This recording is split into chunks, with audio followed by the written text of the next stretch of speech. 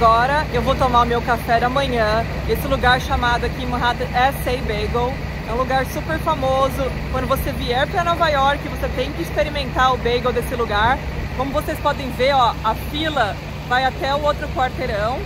Então, vamos lá e eu quero comprar o meu bagel. Como vocês podem ver, esse é um lugar bem popular não só para os nova-iorquinos, mas para os turistas que estão visitando Nova York. A fila começa lá fora e a fila continua aqui dentro. E eles têm um cardápio super variado com várias opções e eu quero mostrar agora para vocês. Esse aqui é o cardápio das bebidas, onde eles têm café, chá, chocolate quente, café gelado. Eles têm a opção de pequeno, médio e grande. E o preço começa a partir de 2 dólares e 15 centavos para um cafezinho pequeno e um café grande vai até 7 dólares e 15 centavos. Esse aqui é o cardápio dos sanduíches, onde em Nova York todo mundo aqui adora ovo no sanduíche, então o famoso bacon, egg and cheese, que é, é ovo, bacon e queijo. Esse aqui você pode comprar por 8 dólares e 50 centavos. Esses aqui são as especialidades da casa. Então são bagels que eles têm já com peito de peru, frango, salmão e o preço varia de 4 dólares a 75 centavos a 14 dólares e 95 centavos. Aqui está a lista de todas as opções de bagels que você pode escolher e aqui as opções de cream cheese.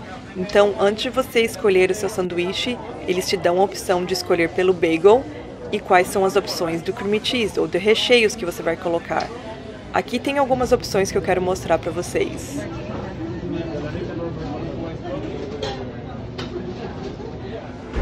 Pessoal, meu bagel chegou, dá uma olhadinha aqui.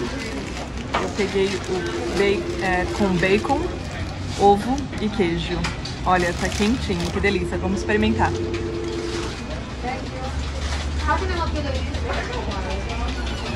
Uma delícia. Muito gostoso.